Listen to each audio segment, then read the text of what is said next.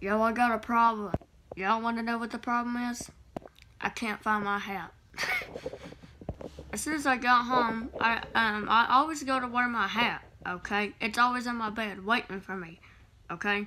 Well, by the time as soon as I got home, my hat's not on the bed. Okay. I've looked. I, looked everywhere in the house. Okay. I looked at the den. I looked in the kitchen. I looked in the toy box. It ain't there. All right.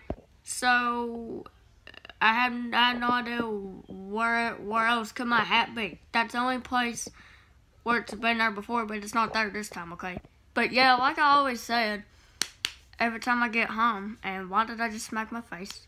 Anyways, the, every time I get home, I always go to wear my hat, just like I said a little while ago. And it's always there waiting on my bed, okay? But it's not there now. I don't understand why though. If y'all have an idea that where I should, what what what uh what kind of place I should work at, I haven't looked, let me know in the comments below. Then I might look there, okay?